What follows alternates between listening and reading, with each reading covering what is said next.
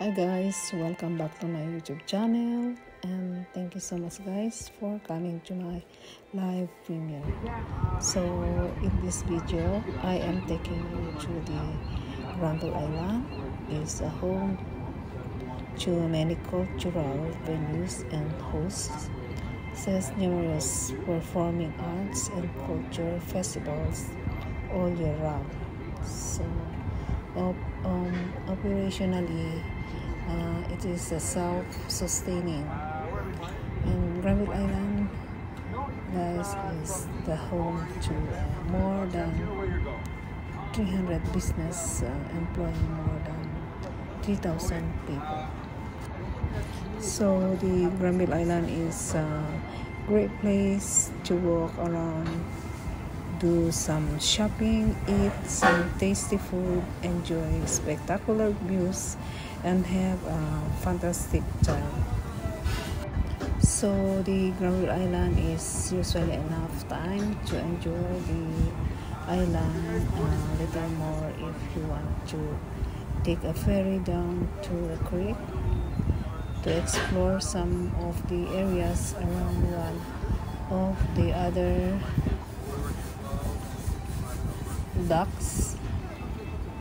So the cost of the Granville Island ferry like three dollar and seventy five for adult or you can pay both both rides for six fifty return for the round trip. For seniors also is two dollar fifty and uh, and children is four fifty. Uh, usually Granville Island and the Aquarium Center Center first and last ceiling. First ceiling is seven dollar seven o'clock and last around nine o'clock p.m. So for those people who like to walk, uh, some people like to walk from Granville Island to downtown Via Hotel and Granville Island. Um, it's possible to do, but not pedestrian friendly. So usually spending around three hours on Granville Island is usually uh, enough time to enjoy the island a little more if you want to take a ferry down to the creek creek uh, to explore some of the areas around one of the other docks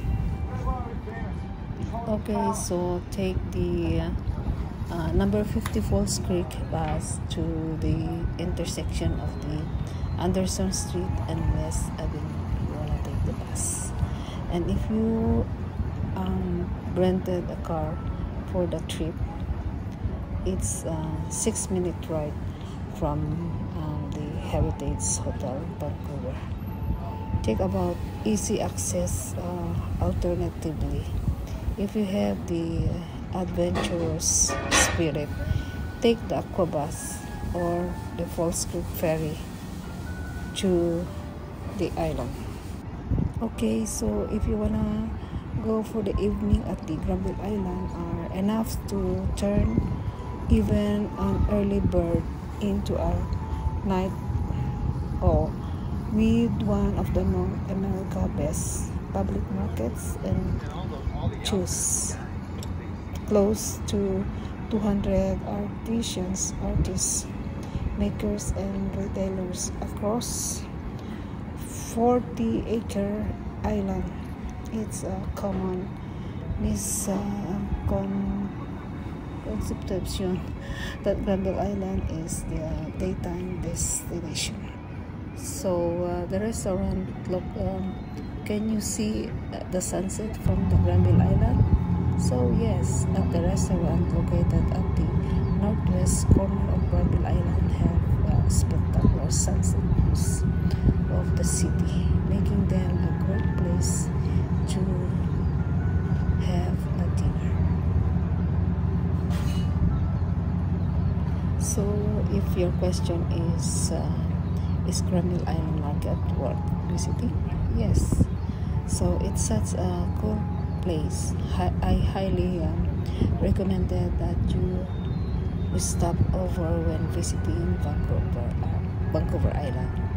The market has everything you can think of if you are with a lot of people that have a lot of different tastes. This might be a great place to eat since there is so much variety. Okay, thank you so much for watching. I hope you like this video. Thank you very much. Bye for now.